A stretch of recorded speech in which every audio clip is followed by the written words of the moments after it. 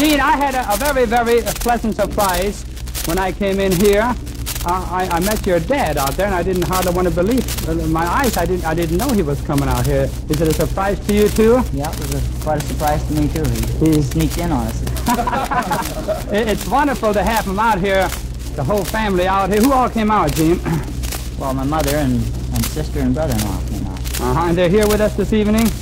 Well, just my dad's down here and my brother-in-law tonight. You remember? others stayed home. Remember last year when we had him up on the bandstand? We had so many wonderful comments, so many letters saying that they enjoyed him so much singing with you. Do you, you, you think we might be able to uh, get him up here again? I don't know. Huh? I don't well, know. the thing to do is ask him. I think he might obey you better than me, huh? I don't know about that. How about it? Would you like to come up here a little bit this evening?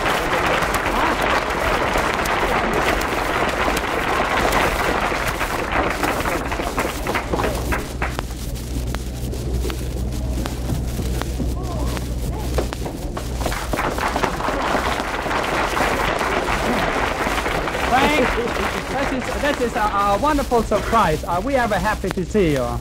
And last year when you sang with us, uh, the, the folks commented so wonderful about it that I think it'd be uh, real nice if I could get you to sing a with the son a little bit again. Just a little. A little Irish song? okay. Well, it's a little uh, Peggy O'Neil. Peggy O'Neil was a girl who could steal any heart, anywhere, anytime. Now I'll ask you why, how you recognize this wonderful girlie of mine. If her eyes are blue as skies, that's Peggy O'Neil. If she's smiling all the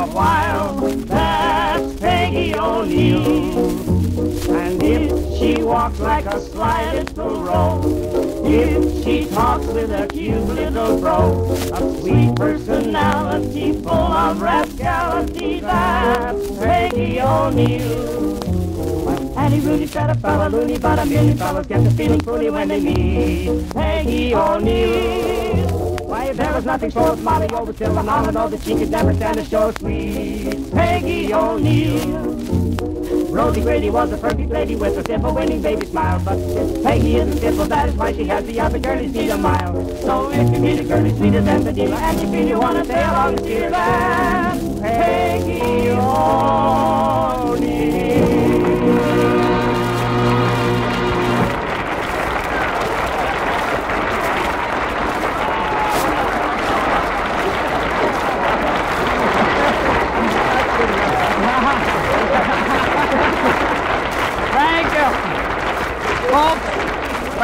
I, noticed, uh, due to the fact that we didn't have this rehearsed, I noticed you got off in in a little spot there, and I had a chance to hear your solo voice, and it was wonderful. would you Would you mind singing just a little solo for us here too on the show? It ain't too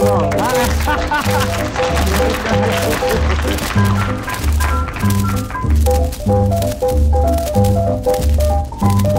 My sweet melody called doodly-doo, uh, doodly-doo.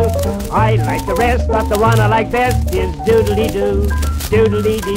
The simplest thing, there isn't much to it. You don't have to sing, you just doodly-doo it. I love it so, wherever I go, I doodly-doodly-doo. Please play for me that sweet melody called doodly-doo, doodly-doo. I like the rest, but the one I like best is doodly-doo, doodly-doo. Simplest thing, there isn't much to it. You don't have to sing, you just doodly-doo it. I love it so, wherever I go, I doodly-doodly-doo.